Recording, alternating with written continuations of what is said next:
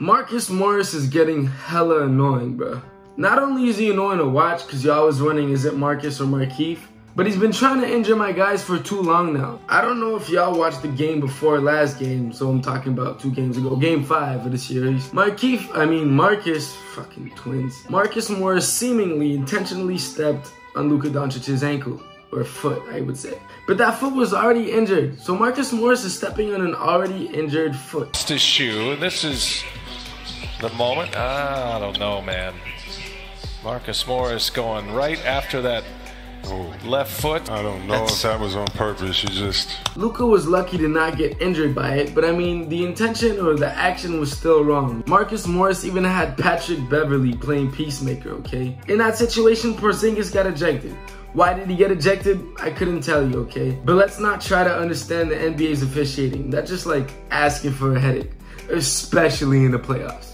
Just imagine what kind of player you gotta be to have Patrick Beverley be a peacemaker. Patrick Beverley, the same player that's ready to fight Boogie Cousins, Russell Westbrook, Marcus Gasol, KD on any given night. He ready to go with anybody on any day. In case you didn't know, earlier in the series, in game three, if I'm not mistaken, Luka Doncic injured his ankle, okay? He tried to come back and play, but he just couldn't handle it and sat out the rest of the game. Fast forward to game five. It's a close game, beginning of the third quarter. Doncic goes to inbound the ball, and Marcus Morris out of nowhere just decides to, you know what?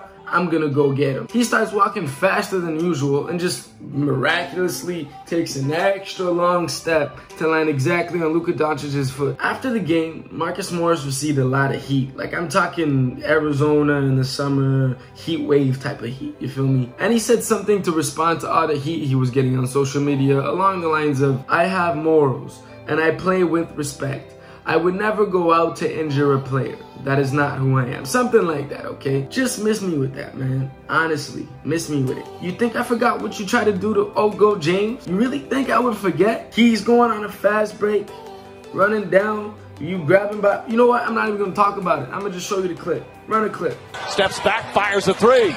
Shot short. Rebound tipped and taken by James.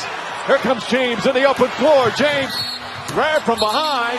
Count it. It's in the open floor. James grab from behind.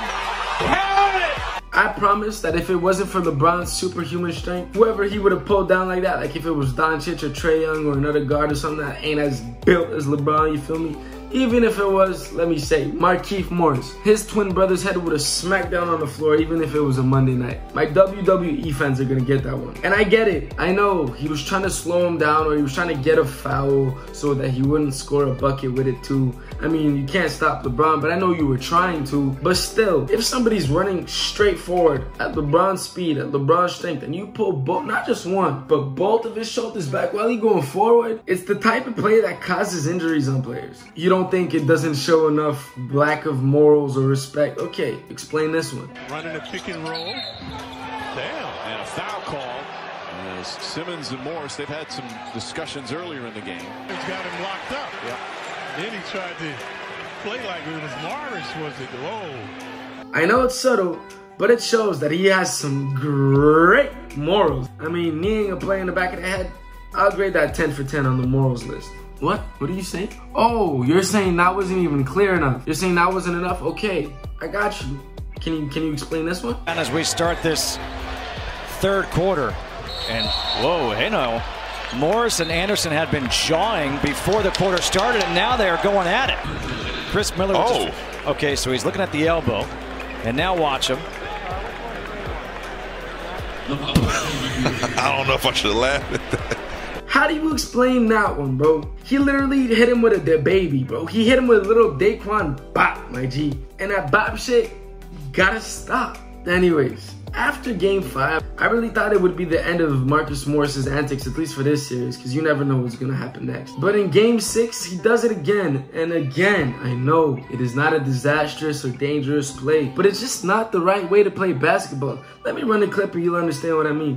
60% for the Clippers, 50% now for the Mavericks. Oh, a hard foul by Morris. And Doncic's up. He wants to go back at him. There's two things that are clear here. That's a flagrant foul. The way Marcus playing, I think he think he playing in the hood or something. Like he got a point to prove or something. Like Marcus, we all know that you tough, okay? We already know that. You ain't gotta prove it with some stupid plays like that. And before all you old heads get at me, or before all you niggas that got balls bigger than fucking Uranus come at me, okay? I was talking about the planet, by the way. Get your head out the gutter. Before all y'all get at me saying that, oh, this is basketball, you just soft, blah, blah, blah. Bro, it ain't the same no more. Basketball used to be like that, but they made changes in the game so it wouldn't be like that no more. You know what I mean? If we were in the 80s, my head ass would have been clapping, bro. I'd be clapping for Morris. I'd be like, I love that toxic shit. Like I'm fucking, what's his name again? What's his name? What not? I was about to say Daquan. What's his name? What's his name? You know what I'm talking about? I love the toxicity. I love toxicity. What's that guy's name? I, my brain is just fried right now. I stopped smoking and my brain's fried. How does that add up? I don't know. Anyways, we ain't back then no more, okay? It's 2020. You can, ah, Oprah side. It's Oprah side. How did I forget that? I don't know. But this ain't 2020, okay? You can miss me with that type of play. The only thing I low-key fuck with is that after the game, he didn't go on social media trying to defend himself, okay? He told a couple haters, quote unquote, to cry him a river. Clippers are winning in six, which they did. Or he said Clippers in six. Something along the lines of that. And honestly, I love the honesty. And even though it sounds like I hate Marcus Morris, I don't. You're just annoying me, bro. You try to do it to the old GOAT Bron. Now you're trying to do it to the Lamb Doncic. Like, I get it. You want to shine in the limelight, but it's kind of dark. But you did shine in one period of your life, and I will forever remember you for that, okay? Remember when you went like this in Embiid's face? I remember that for life. You know why? Because I'm a Celtics fan. And even though I'm wearing a Lakers hat, I'm a Celtics fan. I'm only a LeBron fan. It's the only reason I'm wearing this hat, okay? Wherever LeBron goes, I gotta show a little bit of respect. Anyways, anyways, anyways. As this video comes to an end, I just wanna remind y'all to stay hydrated. I mean, we live in a crazy world right now. There's a virus going out. There's pedophile rings out. And I just want you to stay hydrated until things get back to normal. I also want to say rest in power to Chadwick Boseman, aka the Black Panther. I mean, it's pretty crazy that we lose the Black Mamba and the Black Panther in the same year, but 2020's been that type of year. On that note, I'll see y'all in the next video, and please let me know in the comment section down below if y'all excited. 2K21 is coming out in a couple days. I think it's coming out in four or five days, okay? Let me know if y'all excited for the 2K21 streams, the 2K21 video challenges. I'm gonna start playing more often, okay? I'm not a 2K GOAT, but by the end of 2K21, I'm gonna be a 2K lamb, you feel me? and if you're a Super Brazy fan, like always, leave a like on the video. And uh, that's about it. It's all love from here, and I hope it's all love from there. See y'all in the next one. You feel me?